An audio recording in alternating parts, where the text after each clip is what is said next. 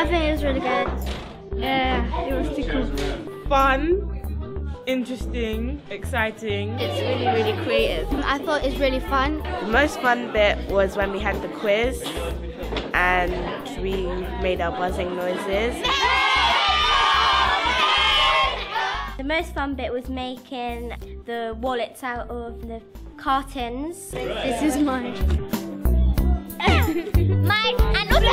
and not only was the purse thing really enjoyable, but it was also very interesting to find out about how in Bangladesh is quite poor and they uh, 3p an hour they earn and all the shoes get imported to us and we buy it for like 35 pound and they're, them the people that actually made it only get like 30p but the content was really relevant to what they're learning to do with citizenship, geography, history. It was just done in a more fun way that they could understand. And I think they realised how fair trade relates to their life as well because sometimes it's a bit abstract to them, but they learned how they can implement it in their lives.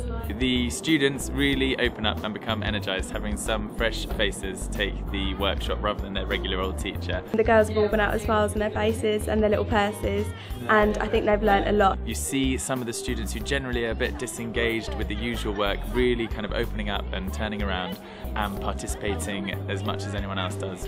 I will buy more fair trade food. I'm going to make more of these purses. I would tell my sister not to go buy one. I could teach her how to make one. If you are thinking about getting Otesha into your school, I can say it is absolutely worth it. It is good value for money. Give them a call, they're very friendly.